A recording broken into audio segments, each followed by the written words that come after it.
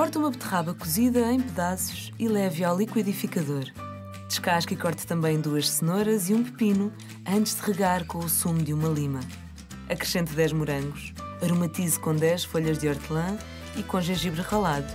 Junte água de coco, um fio de azeite e triture tudo. No final, termine esta sopa de beterraba, cenoura e gengibre com o aroma fresco da hortelã.